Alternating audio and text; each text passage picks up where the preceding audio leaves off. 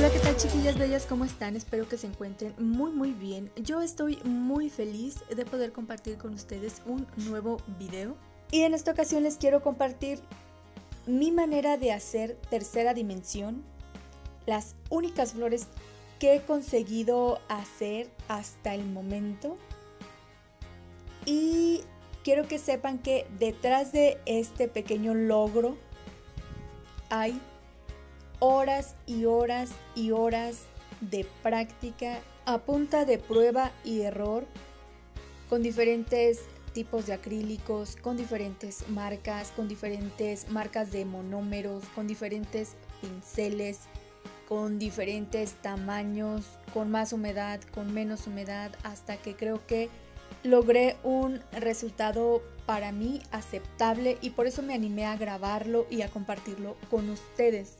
Ahora, justo en este momento quité lo que inicié haciendo y como muchas veces lo he hecho antes, voy a empezar de nuevo.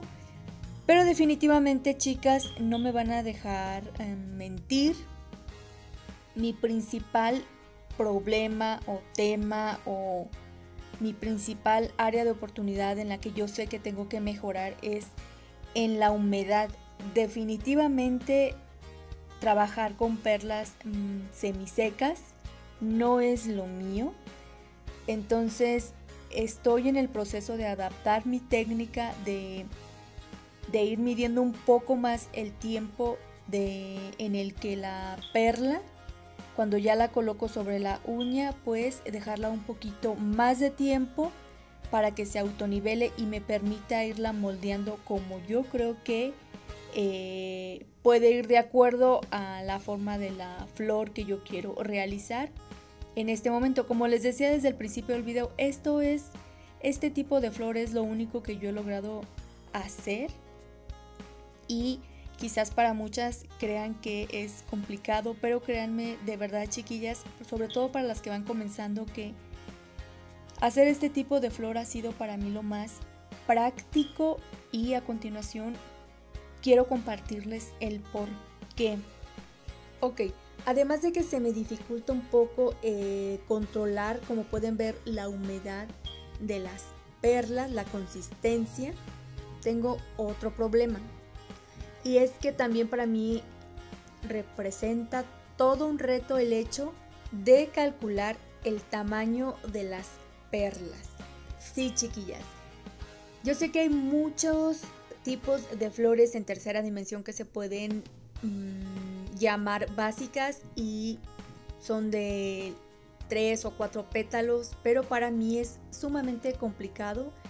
Hasta el momento no he podido lograr darle a ese tipo de flor un acabado simétrico o una forma parejita, vamos a decirlo, porque siempre termino con una empiezo con una perla chica o grande, voy de más a menos, de menos a más me queda un pétalo más grande que el otro siempre, más abierto, menos abierto y un sinfín de cosas con las que yo me encuentro al intentar hacer ese tipo de flores. Es por eso que el trabajo que ustedes están viendo es lo que para mí representa algo más fácil de conseguir, ya que esta clase de flores no importa si un pétalo va más grande que el otro, es eso precisamente lo que le da como el aspecto de una flor, pues lo más parecido a lo natural.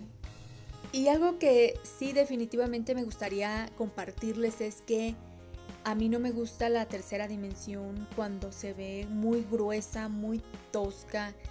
Em, me gusta como aprecio mucho más bien el trabajo de, de gente que es súper talentosa y que le da un acabado a la tercera dimensión fina, delicada, que se enfoca mucho en los detalles porque al final de cuenta la tercera dimensión es lo que va a llevar por encima una aplicación de uñas y lo que queremos con esto pues es decorar a final de cuentas nuestra aplicación de uñas.